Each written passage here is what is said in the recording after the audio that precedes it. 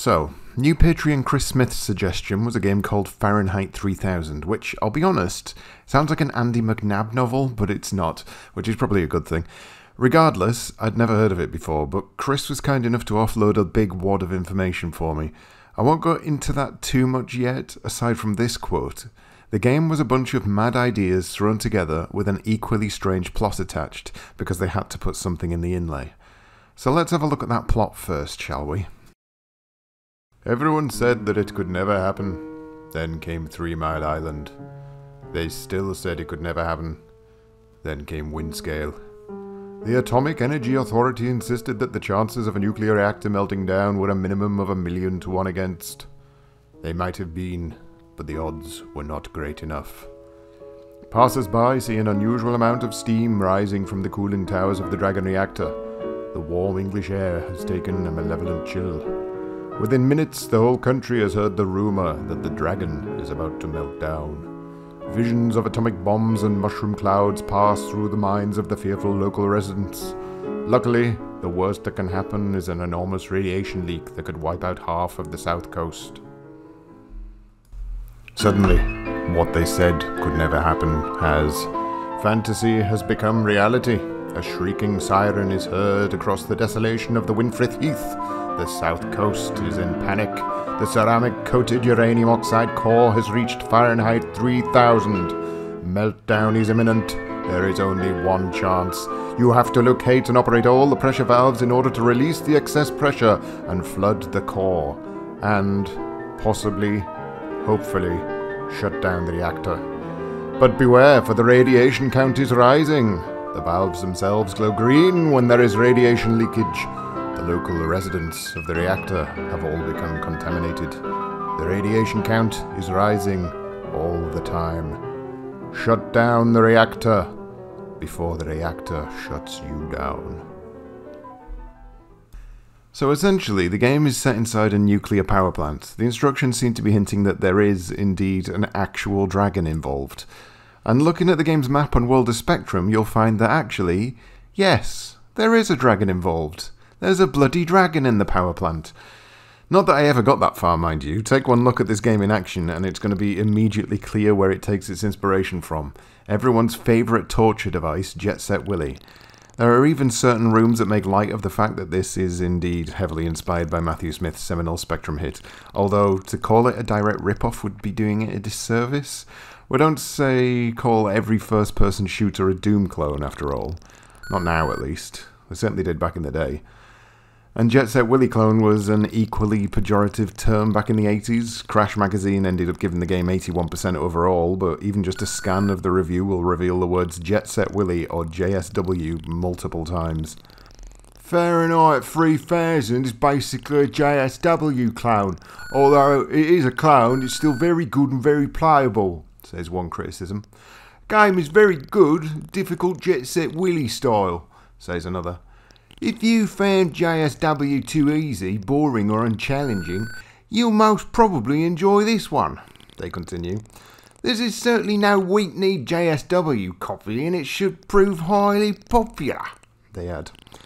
It's fair to say that having mentioned Jet Set Willy no less than seven times over the course of six paragraphs, Crash Magazine definitely spotted the similarities between the two games, but overall they understood the differences the two games had, and it was praised. Not so with your Sinclair. Overall, your Sinclair reviews gave the game a three separate scores of 1 out of 5, 1 out of 5, and 2 out of 5. To match this up to Crash in percentage terms, that's a measly 27% score versus Crash's 81% quite the difference. And I guess it goes to show just what fatigue can do for a genre. It happens to the best of them. Gaming has its phases like these. First, everyone wants to do platform games, then everyone wants to do one on one fighters, then everyone wants to do first person shooters, then everyone wants to do massively multiplayer games. There comes a time when the market becomes oversaturated. But is it a reason to hate a game simply because there's many others like it? What's interesting about Jet Set Willy and indeed Fahrenheit 3000 is that barely anyone can complete it. And when asked, that isn't even the main driver for them to play the game, it's the exploration element. Jet Set Willy gives you a fair chunk of lives to do this with, but you can burn through 90% of them in a matter of minutes. Fahrenheit removes lives altogether and instead gives you a time limit. This is brilliant. This is exactly what I would have wanted as a kid. Let me try this screen over and over and over again. Let me practice it. Let me get better at it so that next time I might have a chance of properly doing it. Jet Set Willy would give you a set number of lives to try this before booting you back to the beginning. Fahrenheit 3000 lets you keep on trucking until the timer runs out. This is perfect for what most people would have used the game for, a test of skill in a world that you would set out to explore. It gives you more freedom and less frustration. It doesn't ruin you for a single mistake. There are a couple of other vital differences in tour here. The jumping mechanic of Fahrenheit 3000 is something that's been given a twist, and it's a vital mechanic to the game's platforming, as you'd expect. If Jet Set Willy was all about finding the right place to stand in order to clear a jump, Fahrenheit 3000 manages to multiply the options with wall bouncing.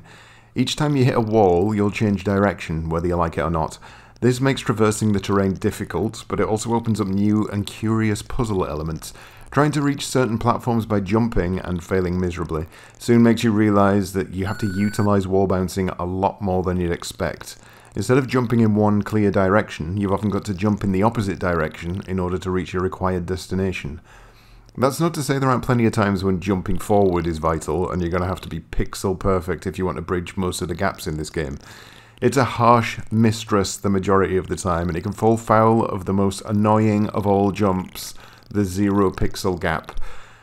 I brought this up during the Finders Keepers review, but oh lordy lord, do I hate these things. Trying to find the exact spot to jump in order to get your man to land on the ledge is absolute mind poison. You've just got to do it over and over and over and over and over until you finally nail the bloody thing. Thankfully, the game usually isn't cruel enough to place an enemy or something in the way at the same time, but still, give me a chance. All I want to do is get on a bloody platform, you shit. Anyway, it's not all about platforming, as the plot suggests. You need to turn off a load of valves. Now, Chris had provided me with a load of hints, but I wanted to go in blind at first, so this footage that you're watching is me prior to understanding what the hell is going on. You see these things here? Those are valves. You need to collect them. They change colour a lot. I just presumed they were flashing, indicating their treacherous nature, but no, they're flashing very specifically. When I touched one, it was green, and I died immediately, so I avoided them from that point on. When I went back and read Chris's notes again, he explained that you have to touch them when they're red. Yes, red is good in Fahrenheit 3000. It's not the only time it completely confuses you with colour-based shenanigans. There are numerous times throughout the game where you're killed by things you would have no idea were dangerous. Spectrum games of this type would typically make it obvious, but not so in Fahrenheit 3000. It likes to keep you guessing. There's a desert section, for instance, just to clarify, yes, that's a desert inside a power station. You'll keep randomly dying when you're there, and there's no real indication as to why, but basically it's because it's hot. You just have to rush through the area. It's weird, this Fahrenheit 3000. None of it makes an awful lot of conventional sense. The plot doesn't tie up with the levels you're traversing, the colour scheme and mechanics don't align with what you're typically used to. It's not like someone played Jet Set Willy a lot and made a game like it. It's more like someone read a lot of Jet Set Willy reviews and then made a game based on how they felt it would be, using screenshots as a reference. It's odd. Back to those valves though, what a frustration these things are. So they flick between red and green, red being good, green being bad, remember that.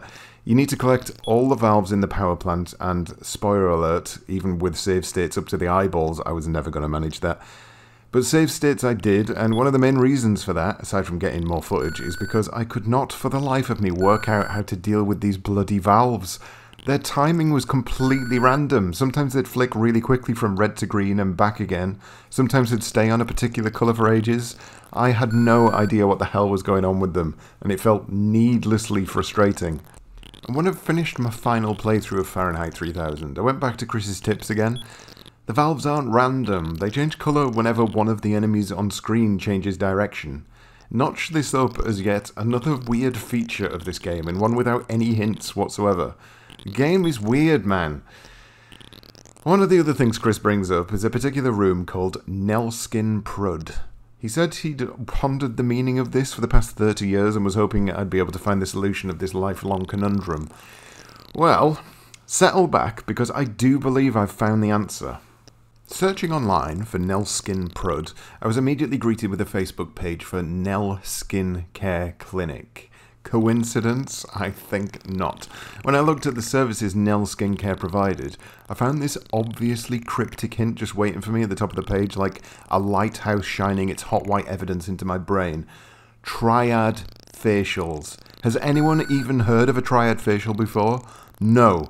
But triad we all know what Triad is, right? Triad National Security LLC brings world class expertise in nuclear operations. Where was Fahrenheit 3000 set? Inside a power station. We were getting closer. There was another piece of the puzzle though Prud.